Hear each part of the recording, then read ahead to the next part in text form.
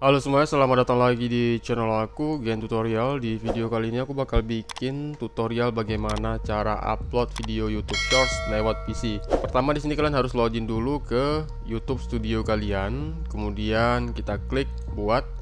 Kemudian di sini ada upload video, live streaming dan buat postingan. Kita klik di upload video.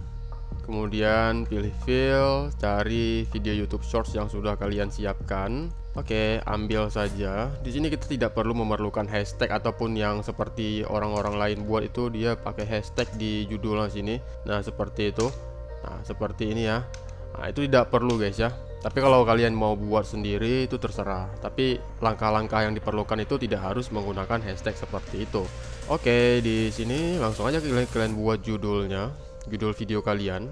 Nah bedanya kalau kalian upload dari PC atau dari YouTube Studio itu kalian bisa menambahkan thumbnail. Tetapi kalau langsung diupload dari Android atau dari smartphone kalian itu kalian tidak bisa menambahkan thumbnail. Seperti itu.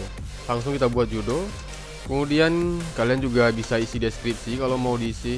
Nah, tetapi di sini saya tidak isi deskripsi. Saya cuma isi pakai uh, shorts gini aja kemudian kita tambahkan hashtag mobilnya kemudian hashtag gamenya Oke, selesai. Kita scroll ke bawah. Nah, di sini kalian bisa mengupload thumbnailnya. Kalian mau upload thumbnail tentang uh, video YouTube source kalian, itu kalian bisa klik upload thumbnail. Kalian pilih aja gambarnya, tapi di sini aku nggak pakai thumbnail. Kemudian kita scroll ke bawah. Di sini kalian juga bisa menambahkan playlist ke video YouTube Shorts kalian. Shorts video, selesai. Tampilkan lebih banyak. Di sini kalau ingin menambahkan hashtag, kemudian lanjut ke bawah tanggal perekaman lokasi video judul game NFS no limits. Scroll lagi ke bawah udah kita klik berikutnya. Kemudian monetisasinya kita aktifkan.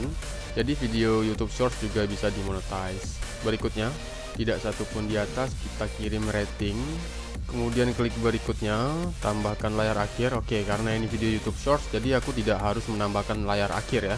Kenapa? Karena kotaknya sudah sangat kecil gitu ya.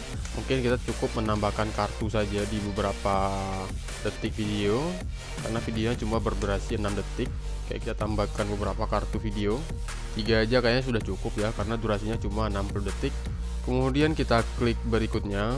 Berikutnya ini sudah memproses versi HD kemudian klik simpan. Kita bakal cek dulu nih video kita ya. Video yang sudah kita upload. Oke kita tunggu. Dia secara otomatis bakal di convert ke video shorts. Nah ini coba kalian lihat ya.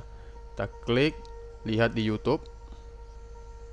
Nah coba kalian lihat guys ini langsung di convert ke video YouTube Shorts. Jadi kalian tidak perlu menambahkan hashtag atau segala macam. Ini kalau versi upload dari PC lihat ini Shorts video ya. Kalian bisa lihat di sini Shorts.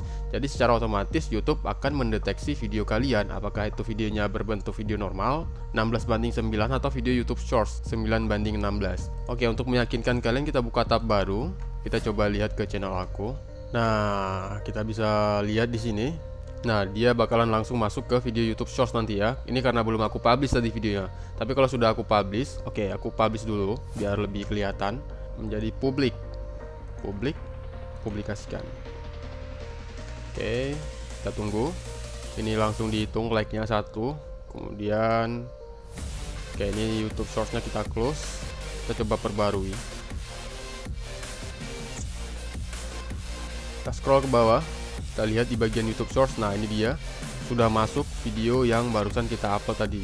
Dia secara otomatis bakalan langsung masuk ke YouTube Shorts. Nah jadi ini adalah kumpulan video YouTube Shorts yang ada di channel ini gitu ya. Kita coba klik di bagian video. Kita scroll. Nah kalian coba lihat di sini ada logo Shortsnya jadi cara uploadnya sangat mudah ya seperti mengupload video pada biasanya. Cuman bedanya kalau kalian upload video YouTube Shorts dari PC itu metadatanya bisa lebih lengkap dan bisa juga menambahkan thumbnail. Tetapi kalau dari Android itu nggak bisa pakai thumbnail.